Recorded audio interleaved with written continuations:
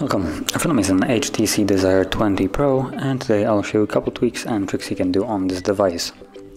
So starting off we're going to begin with the dark mode which um, can be found in the notification panel right over here. Or actually, I think this is something else. Yep, it looks like this is something else. So uh, apart from the night light which just makes everything yellow, we can find the actual dark mode under the display se section and there it is. So in here it's called the dark theme. As you can see it turns everything simply dark. That also extends to majority of the pre-installed apps. Now moving on to the next one, it's going to be split screen. Now this is a simple uh, feature that allows you to use two different apps at the same time. Now best use for it I would say is using YouTube and Chrome where you can listen to music for instance and actually still browse the web. And you do it by simply going to recent ones your app is open, tapping on the icon itself and then going to split screen. Now whichever app you open in split screen first is going to be the one that goes to the top and from there you can simply open another one. Now by default it shows you the um, opened apps that are running in the background but you can simply tap on the home and open whichever app you want. With an exception, uh, some apps don't actually work in split screen. Things like camera will completely quit out uh, split screen and just go to being the main thing and I can quickly show that by just tapping on camera and there you go. App doesn't support split screen and it just kind of quits it. Then moving on to the next one it's going to be the simple animation speed. Now this will this option usually isn't actually visible anywhere in the phone unless you have it enabled the developer options.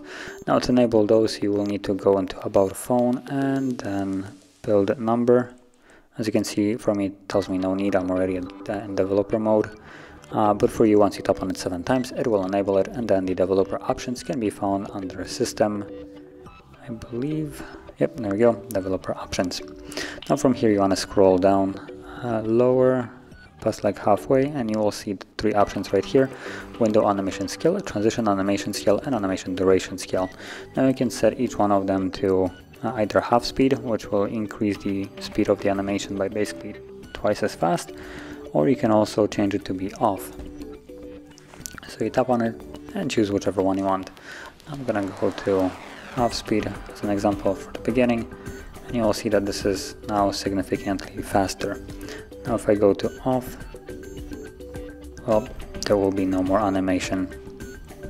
As you can see, there is literally no animations of up sliding down, fading in out or stuff like that. It just instantly appears and disappears.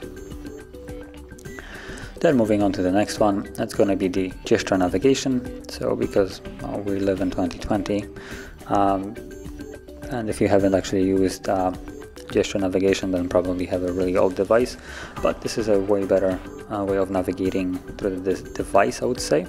It substitutes those old outdated buttons on the bottom with something more well, natural, I would say. And it's enabled by going to the system, then gestures and system navigation, and go to gesture navigation. As you can see, there is a animation on how it works. Um, it creates this little pill or bar at the bottom which you can swipe up to go home swipe up and uh, hold to go to recent and then swipe from the sides to go back which honestly the side swipes are the best. You can access them from any side and when you're holding the device it really helps you out when you're holding to swipe from just from side instead of trying to reach on the bottom. So really I, I really like these options and the navigation is just amazing and then moving on to the last option, which is a more of a security option, it is going to be the screen pinning.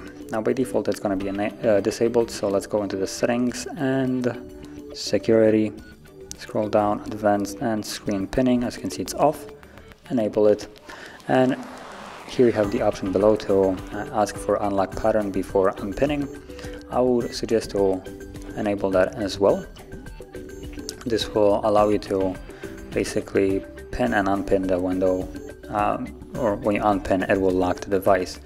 Let me quickly check if I have any kind of pattern and I do.